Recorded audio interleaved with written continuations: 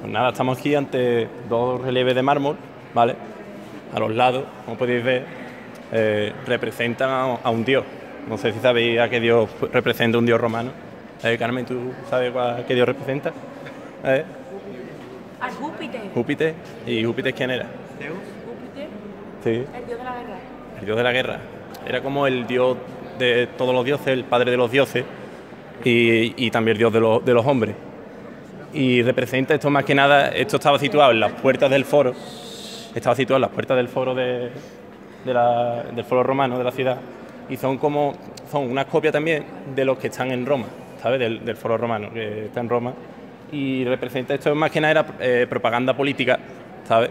Para de alguna manera eh, exhibir, la, exaltar lo que es la supremacía de, de la ciudad de Roma y solo es eso, ¿de acuerdo?